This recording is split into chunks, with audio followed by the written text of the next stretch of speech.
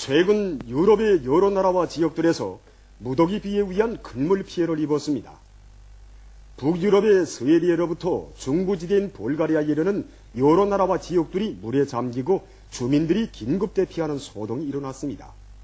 볼스카에서는 이전 오스벤징 수용소 건물이 물에 잠길 위험이 조성돼서 군대가 제방대를 보강하고 전시품들을 소개하는 데 동원됐습니다. 큰 비로 이 나라의 오랜 도시 하나인 베라코브시가 침수될 수 있는 위험에 처했으며 도시와 연결된 수십 개의 도로와 철도가 끊어지어 교통이 단절되었습니다. 특히 나라의 남부 지역에서 강둑이 무너지어 고리들이 침수되는 등 혹심한 피해를 입었다.